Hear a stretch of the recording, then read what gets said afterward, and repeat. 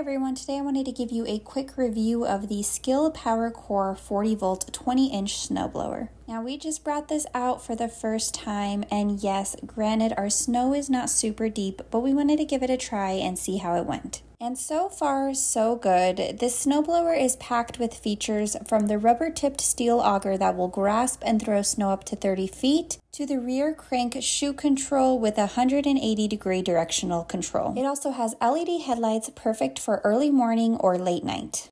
It's easy to control, easy to push, and it has a quick fold steel handle making for easy storage.